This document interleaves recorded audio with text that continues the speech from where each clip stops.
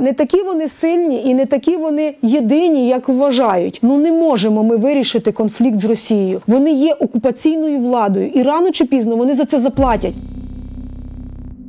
Вітаю, це політека онлайн в студії Інга Мазерія. До мене доєднується Ірина Верещук, народний депутат України, фракція Слуга народу. Вітаю вас, пані Вітаю. Ірино.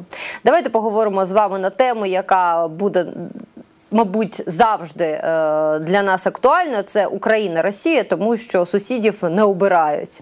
На жаль. Е, І от е, останнє інтерв'ю, яке резонансне було, яке протягом тижня обговорювали е, Владислава Суркова, так е, який вже не є на тій посаді, який був, який вже не курує е, український напрям, як було там з 13-го року, але він. Розказує так, як він це відчуває. От він каже, що е, Украины нет, є українство, е, то є специфічне расстройство умов. Ну тобто, от. Ну, не будемо цитувати е, такі речі, те, що він пише, але на ваш погляд, е, те, що він каже, наскільки це реальна ситуація, е, чи це якийсь такий специфічний піар для нього, якийсь ход для Путіна зараз, щоб нас завести у якісь, знаєте, інші там, е, там. Як сказати, ну думки, як з ними будувати відносини. Що це взагалі таке?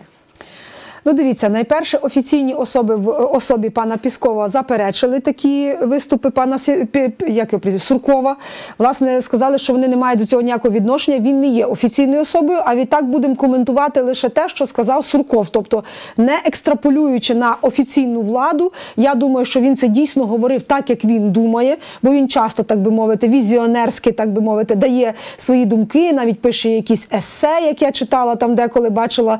Мені просто було цікаво, знаєте, колись Петро І казав, пусть говорять, щоб дурь кожного була відна. От хай і говорять. І я оце дивлюсь, щоб дурь кожного була відна, щоб зрозуміти його напрямок і хід думок, бо це все-таки цікаво. Бо ця людина багато знає, він дійсно має і мав доступ до інформації. Він розумів, які операції, як і чому вони зараз будуть зроблені так в Україні і так далі. Можливо, якісь і сам е, організовував і керував ними, і спецопераціями, і психологічними, особливо психологічними. Тобто, якщо військові роблять свою справу, то до нього напевно відносилось все таки більше, як він думає, працювати з людським софтом, переходячи на комп'ютерну мову, тобто з мозком людським. Отже, що він закидає? Він закидає, що є українство, але України як такої немає. Ну, дивна теза, звичайно, тому що Україна ще з часів Київської Русі вже згадується так в перших літописах, і тоді абсолютно не стояло питання щодо державності України. І не стоїть сьогодні. Серед нормальних істориків ніколи не було жодної тези, яка підважувала державність і право на державність самої України. Але ми маємо нове прочитання історії у викладі пана Суркова та й Путіна, який теж там читає, як хоче, то Анна Ярославна, то Володимир Великий хрестив десь не там Русь і не ту Русь, в них вона своя. А отже, це. Дійсно серйозний підготовлений проект, який в різний спосіб, в різних формах, різними суб'єктами, різними персонами чи людьми втілюється в життя. Як на мене, він робить його ефективно. Бо мушу визнавати, хоча він і ворог, але він ефективний ворог. Тут треба це визнати. Те, як вони маніпулюють людською свідомістю, ну по суті, він каже: борщ є, бандера є, бандура є, України немає. І це читає, ну ми це знаємо в себе всередині. Це читає поляк. І йому імпонує, ну це ж добре, правда, коли там, наприклад, борщ є, бандура, бандера, якого вони теж не люблять, чомусь пішло так разом рефреном.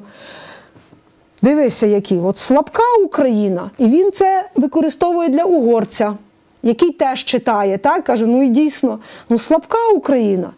І сподівається, що такі, як угорський Орбан або польський Качинський, почнуть думати в даному керунку або в даному напрямку. На щастя, розвиток таких держав, наших сусідніх держав, як Польща, Угорщина, Румунія, з якими в нас теж почасто були історичні конфлікти, пішов настільки далі, що він навіть собі не уявляє, щоб такий спосіб мислення був притаманний в суспільстві. І поляк, угорець чи румун, навіть найвищих категорій посад, не уявляє собі, що можна так мислити.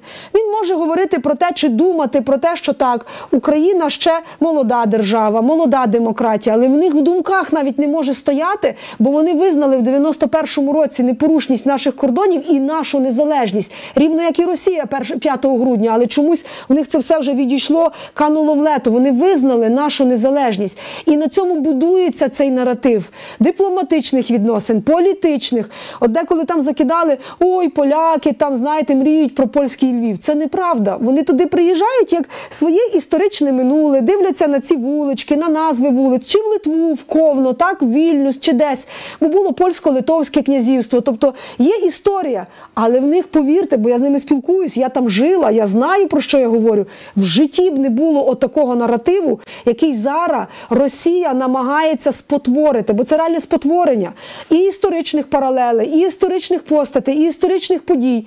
І тут, завершаючи свою тезу, яка чомусь стала такою довгою, скажу наступне: нам треба це читати, нам треба це чути, щоб всі, у кого ще є певні, хоча б певна дещиця ілюзій, зрозуміли, хто і що для нас є Російська Федерація. Бо якщо люди, які визнали нашу незалежність, які встановили непорушність кордонів, які в Будапештському меморандумі гарантували так не напад, гарантували і в своїх договорах про дружбу і співробітництво, і в міжнародних, і в міждержавних, і всіх рештах сотень договорів гарантували, що ніколи не будуть на нас нападати. Напали, то ми розуміємо, що це на роки, а можливо й на віки. І Фраза Леоніда Кучми Україна не Росія набуває все нових і нових підтверджень. Ми, наприклад, я, наприклад, би ніколи не додумалась будь-кого з Російської Федерації назвати, що їх нема, там вони не такі. Та зрештою це їхні проблеми внутрішні.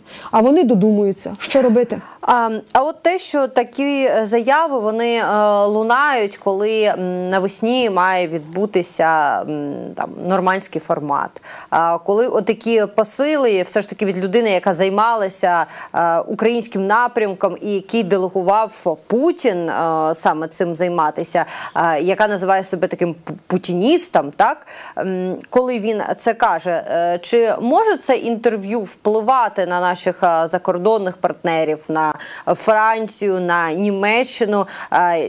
Що ну взагалі не поважають Україну як державу, не вважають її державою? Може. В частині поглиблення санкцій, звичайно, може. Попробуйте після таких слів щось сказати, що давайте дружити з Росією, так, українцям. Давайте скажіть, що ми маємо неухильно дотримуватись виконання мінських угод. А ми раз і інтерв'ю Суркова. А це як? Це повага, це повага до міжнародного права, до засадничих конвенцій, так ООН, які є, до всіх платформ, паре і так далі. Це нормально. І у нас якраз з'являється на цей момент, на даний момент, досить хороша диспозиція. Бо Росія в такий спосіб не тільки не поважає Україну, вона демонструє неповагу до всіх, хто має з нею справу. Бо вона може підважити історичність і, як ми це бачимо, випадку з Польщею будь-якої держави. І Польща, наприклад, на своїй шкірі відчула так, коли Путін каже, що треба переглянути, ще хто там починав війну і чи не була Польща винувата. І ось а зараз про Литву скажуть, про Естонію. І от так, а там до Фінляндії доберемося правда? Бо ж може Маннергейм не так щось зрозумів, або фіни в фінській в російсько-фінській війні. А отже. Це досить серйозний глибокий наратив, і я вважаю з далеко ідучими наслідками. Бо це лише зараз, так знаєте, продзвеніло, наче там верхівка айсберга, а може віддати рикошетом самій Росії. Бо не такі вони сильні і не такі вони єдині, як вважають. І якщо так сильно загравати з історичністю, так і з тими подіями, які відбувались, або з запереченням, наприклад, нашої державності, можна дійсно наразити себе на серйозні серйозніші санкції і на серйознішу обструкцію. Можна як завгодно, знаєте, роздувати щоки, що ось ось і нас візьмуть в J8, ось ось і нас знову візьмуть за стіл сильних. Так, з ними розмовляють, але от така риторика зовсім не сприяє. Знаєте, коли от ти собі формуєш наратив, а потім приходять і кажуть, оця людина вважає, що взагалі-то Польщі нема. Що взагалі-то Польща винувата у тому, що почалась Друга світова війна, бо вони щось там з чехами, щось там забрали. Ну як це виглядає? Хто тобі? Тобі руку подасть. Всі чудово розуміють, хто ти і що ти. А отже, хай говорять. А те, що він каже, що Україна не гідна того, щоб не оку- окупований зараз Донбас повертався, це е, також знак, що не буде ніякого повернення. Ні. Чи це, чи це навіть от те, що він пішов і не хоче е, повертати обратно, як він сказав, ту політику, е, яка була, чи це, це такий знак, що тепер козак, який цим буде займатися, він саме за те, щоб повертати, а Сурков пішов, тому що він проти. Ну, найперше, це визнає їхню причетність, а відтак і стороною конфлікту. Їх визнає це, бо хто ти такий, щоб розповідати за, як вони кажуть, повсталий регіон, так, який повстав проти центру, проти Києва. Хто ти? От хто ти, пан Сурков, щоб казати, буде це приниженням, не буде. Так вони є суб'єктами чи не є? Ви ж кажете, що вони суб'єкти. Ви думку їх спитали? Ви спитали тих людей, які сьогодні там живуть на тимчасово окупованій території. А буде це для вас приниженням чи не буде? Ти за них уже розписався? Вони для тебе пішаки, матрьошки, які можна буде там змінити у відповідності до форми. Тобто це не повага передовсім до них, бо мене його слова не зачепили. Я думаю, тих людей він зробив їм медвежу послугу, розповідаючи про це, що це буде приниження. Бо якщо дійсно, і якщо люди так вважають, ну що ж робити? Тоді справді давайте не будемо намагатися. І ми, як влада, і як опозиція, як всі решта країна, країна, частина, так скажемо, ну окей, ну якщо вже таке приниження, то давайте не принижувати один одного. Давайте ви поживіть, будь ласка, в ізоляції, так як ви зараз і живете. Чи вам це сподобається? Чи вони живуть добре? Він там був, він бачив, як вони живуть. Це говорить про те, що в його думках і в його взагалі е, наративі люди пішаки. Вони ніхто, вони просто пиль. Яку можна буде стерти, знаєте, зі стола, де буде карта лежати, де він проведе нові червоні лінії. І це передовсім має насторожувати тих, хто є зараз отими е, керівниками збройних угрупувань Російської Федерації. Хто вони для них? Вони спиталися, вони приїжджають, наприклад, представники до Мінська, так що два тижні про щось перемовляються. А тут виявляється, що це має бути для них принизливо. Так де? Де, цей прав... де ця правда? Але це вони мають апелювати до Російської Федерації питання, до пана Суркова і робити заяви, бо нам немає що робити заяви. В нас все зрозуміло з цим. А в першу чергу, як ви думаєте, це інтерв'ю для е, внутрішнього споживача чи для зовнішнього? Для всіх. Я думаю, він в такий спосіб, знаєте, задовольнив своє хворобливе его, тому що це хворобливе его. Людина, яка відповідальна за свої слова і дійсно думає про життя і здоров'я людей, от навіть на тій території, бо він вважає ж їх руським миром, так, частиною руської весни, яка так і не сталася.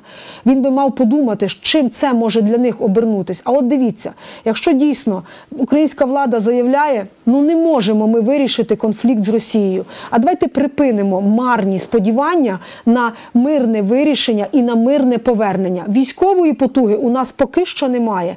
А отже, ми ставимо на стоп будь-які домовленості, ставимо на замороження конфлікт всіма можливими методами. Дійсно відгорожуємося від людей. І що?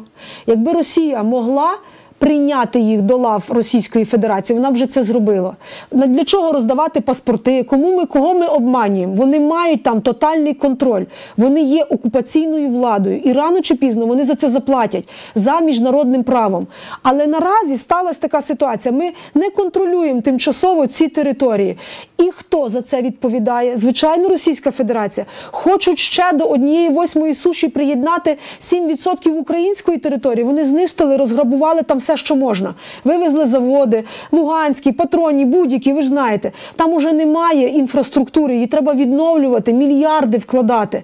І зараз розповідати, що це буде приниженням, а не треба нам такого приниження. І ми тоді побачимо, хто і як буде себе поводити. І це не слабкість. Не приймайте, шановні Суркові і всі решта, українську доброту за слабкість. Ми є добрі, ми хочемо один одному добра. Ми не бажаємо зла і не бажаємо смерті один одному, бо це наші співгромадяни. Навіть якщо вони зараз є злочинцями, хтось з них, хто взяв до руки зброю, це наші українські громадяни. І якщо хтось з Російської Федерації думає, що можна отак, як пішаками ними кидатися, ну то це питання до тих людей, чи готові вони таке терпіти, чи готові, готові йти. Ну що робити? Ми не можемо силою змусити. Ми не можемо, як він каже, так примуш...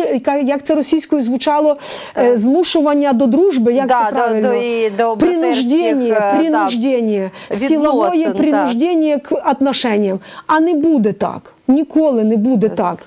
повстане вся Україна. Повірте, ми будемо всі воювати до останнього. Дуже дякую, пані Ірино. Ірина Верещук, народний депутат України, слуга народу, була гостею нашої студії. Дивіться нас у Ютубі на Політеку онлайн. Підписуйтеся на наш канал. Я Інга Мазеря з вами прощаюся. До побачення.